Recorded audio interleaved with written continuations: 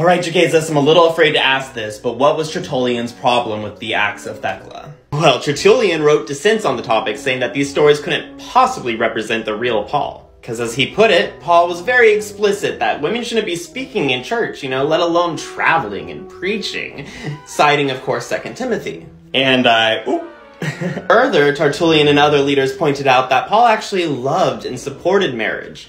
Again, citing 1 Timothy, 2 Timothy, and Titus. Wait, is that... No, you can't. You mean the three, three letters that scholars undisputably say were not written by Paul. Their whole argument of this can't be Paul because he wouldn't hang out with a woman preacher. Wrong. Paul loves marriage and he would definitely not be celibate. No, super wrong.